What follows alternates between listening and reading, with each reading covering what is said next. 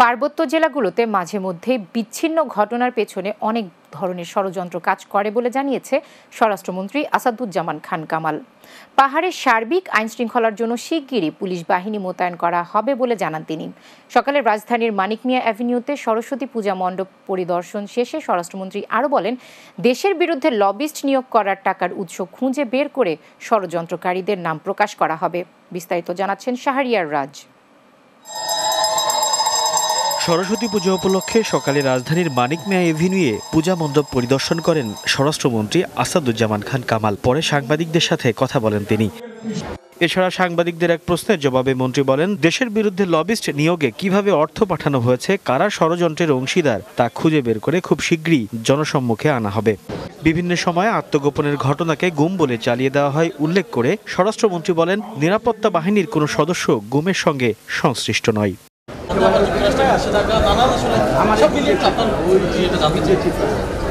প্রথম হলো পাহাড়। আপনারা জানেন আমাদের তিন পার্বত্য জেলা রাঙামাটি, খাগড়াছড়ি এবং বান্দরবান। এই তিন জেলায়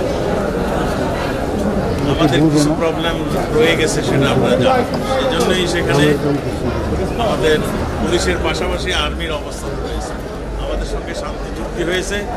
শান্তি চুক্তি অনুযায়ী আমরা ব্যবস্থা নিয়েছি। আমাদের আর্মি ক্যাম্পগুলো আমরা সরিয়ে নিয়ে আসছি। আমাদের সেইখানে আমরা একে একে পুলিশ ওখানে আমরা দেওয়া শুরু করেছি। পাহাড়ের এই যে অশান্তির কথা বললেন, এটা কিন্তু আজকের নয়। এটা এটা শান্তি প্রক্রিয়ার মাধ্যমে, চুক্তির মাধ্যমে এটা শেষ হয়েছে। মাঝে মাঝে দুই একটি ঘটনা, যেটা দেখেছেন সেনাবাহিনীর উপরে অ্যাটাক করা, এই ধরনের ঘটনা মাঝে মাঝে হয়ে থাকে। এটা আমরা মনে করি এর ভিতরে অনেক ধরনের ষড়যন্ত্র এখানে কাজ করে। সেগুলোকে আমরা অতি শীঘ্রই আমাদের সমস্ত তিন ডিস্ট্রিক্টে আমরা পুলিশ বাহিনী যেখানে আর্মির ক্যাম্প ছিল সেখানে আমাদের পুলিশ বাহিনী শান্তি শৃঙ্খলার জন্য আমরা আমরা পাঠাবো খুব শীঘ্রই। এই নিয়ে আলাপ আলোচনা হচ্ছে। আর আপনি ইসের কথা বললেন, সেগুলো আপনারা সবাই জানেন।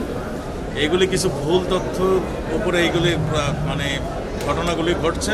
আমরা মনে করি এই ভুল তথ্যগুলোর অবসান খুব শীঘ্রই হয়ে যাবে।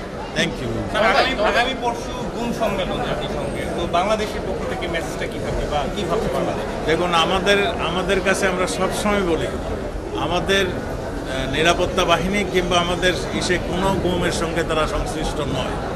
যা- যেখানেই গুম হচ্ছে সেখানেই আমরা কিছুদিন পরেই তাকে পাচ্ছি। হয়তো সে নানা কারণে আত্মগোপন করে থাকে, সেইগুলোকে গুম বলে চালিয়ে যায়। দুই একটি আমরা মানে আত্মগোপন করার এখনও আমরা তথ্য পাইনি। আমরা মনে করি এই এদেরকে আমরা অচিরেই আমরা সামনে এনে পারব থ্যাংক ইউ কামাল ভাই, লবিস্টের নামে বিদেশে টাকা পাচারের একটা অভিযোগ করা হচ্ছে বারবারই যে বিএনপি অন্যান্য রাজনৈতিক দল ষড়যন্ত্রের অংশ হিসেবে টাকাগুলো পাচার করছে, লবিস্ট নিয়ে করছে এই বিষয়ে আপনার বক্তব্য কারা করছে? কি সুনির্দিষ্ট দেখুন, এইটা নিয়ে আমাদের পররাষ্ট্রমন্ত্রী আমাদের পার্লামেন্টে সুন্দরভাবে ব্যাখ্যা দিয়েছেন। তিনি বলেছেন, কোন কোন লবিস্ট কার দ্বারা নিযুক্ত হয়েছেন, কত টাকা দিয়েছেন, সবগুলো কিন্তু তিনি সুন্দরভাবে ব্যাখ্যা দিয়েছেন। এরপরে বোধহয় আমাদের আর কিছু বলার থাকে না। আমরা যেটা করছি, এই লবিস্টের কীভাবে টাকা, এখান থেকে টাকা পাঠালো সেগুলো আমরা খুঁজে বের করছি। যারা টাকা পাঠিয়েছেন, তারা আমরা মনে করি তারা এই ষড়যন্ত্রের, তারাও একটা অংশীদার। এবং তাদের মানে আমরা খুব শীঘ্রই তাদেরকেও আমরা সম্মুখীন thank you Shahriar Raj, Bangla TV, Dhaka.